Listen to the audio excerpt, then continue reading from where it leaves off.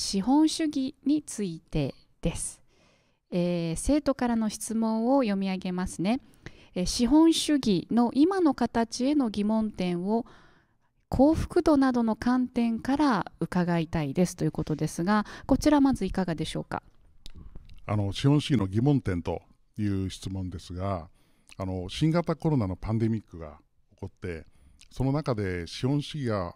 持っていた矛盾がこう吹き出していると。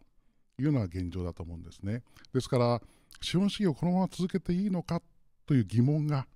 あの立場の違いを超えて、うん、いろんな方から語られているのが現状だと思うんです。